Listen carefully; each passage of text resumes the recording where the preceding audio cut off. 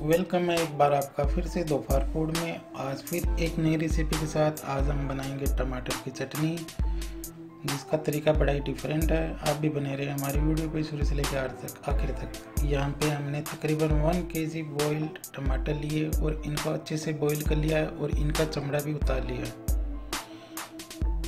दो table spoon butter butter से इसका फ्लेवर बड़ा ही अच्छा आता है। एक टेबल स्पून नमक और ये अपने टेस्ट के अकॉर्डिंग कम ज़्यादा भी यूज़ कर सकते हो।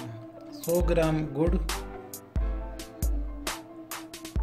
चाट मसाला दो टेबल स्पून चाट मसाला से भी इसका टेस्ट बड़ा अच्छा आता है। पेपरिका पाउडर एक टेबल स्पून चिल्ली फ्लेक एक tablespoon oregano one tablespoon skip भी कर सकते हो ऑप्शनल है इमली का जूस तकरीबन 100 ग्राम। कुकिंग ऑयल तीन टेबल स्पून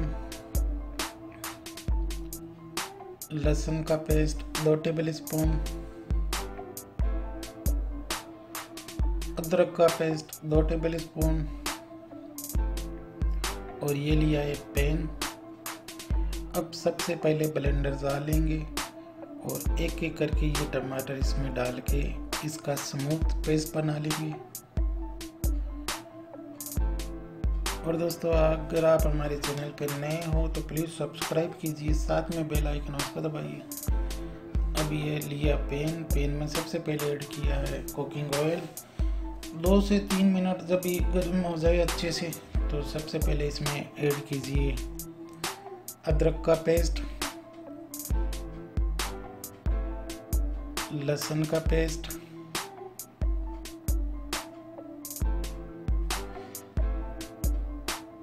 ओरिगेनो ओरिगेनो से भी इसका स्वाद बड़ा अच्छा आता है।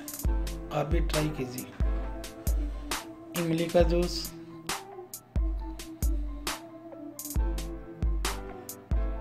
Chilli flake. Paprika powder. चाट मसाला।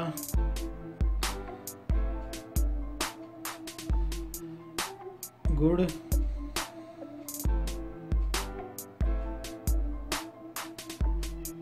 और बटर दोस्तों डिस्क्रिप्शन बॉक्स में हमारे व्हाट्सअप नंबर भी है। आप हमें वहाँ से भी कांटेक्ट कर सकते हो। नमक आप अपने टेस्ट के अकॉर्डिंग जब लास्ट में फ्लेम बंद करने से पहले चेक कर लीजिएगा नमक। अब इसको अच्छे से हिलाइए। और ध्यान रहे, बराबर इसको लगातार हिलाते रहिए, लो मीडियम फ्लेम कर लीजिए यहाँ पे। बस ये कि मसाला पेंदे में चिपके नहीं।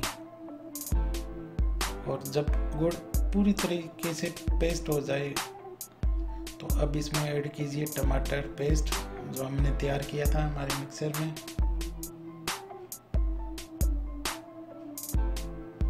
और चार से पाँच मिनट लो फ्लेम पे इसको पकाते रहिए, साथ में इसको हिलाते रहिए।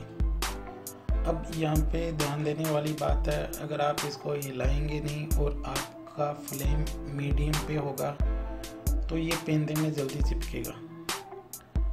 अब तकरीबन 9 से 10 मिनट लो फ्लेम पे इसको पका लीजिए धीमी धीमी आँच पे। ये देखिए, हमारी चटपटी टमाटर की चटनी तैयार है। और आप कोई भी एयर टाइट बक्स में इसको रख के फ्रीज में रख सकते हो। तकरीबन डेढ़ से दो महीने तक ये बिल्कुल भी ख़राब नहीं होगी। आप इसको पिज़्ज़ा, पास्ता, भजिया बड़े किसी के साथ भी यूज़ कर सकते हो। यहाँ पे आप अपने टेस्ट चेक कर लीजिए। अगर आपको लगे चीनी कम है, नमक कम है तो आप अपने टेस्ट के अकॉर्डिंग इसमें और डाल सकते हैं। और दोस्तों, और भी चटनियों की रेसिपियाँ की लिंक हमारे डिस्क्रिप्शन बॉक्स में है। डिफरेंट टाइप की लिंक है। आप चेक कर सकते हो। अगर आपको हमारा वीडियो पसंद आया तो प्लीज़ लाइक ना करना भूले और अपने दोस्तों को भी ये लिंक शेयर कीजिए, ताकि वो भी हमारी वीडियो देख सके। और भी आए दिन हम नई नई रेसिपियाँ लेके आते हैं। और आप हमें लगातार, आप हमें व्हाट फेसबुक और इंस्टाग्राम पे भी फॉलो कर सकते हैं। उनका लिंक भी डिस्क्रिप्शन में है। ये देखिए, हमारी चटनी तैयार है। बड़े कम टाइम में तैयार हुई है। पूरा वीडियो देखने के लिए धन्यवाद। शुक्रिया। बने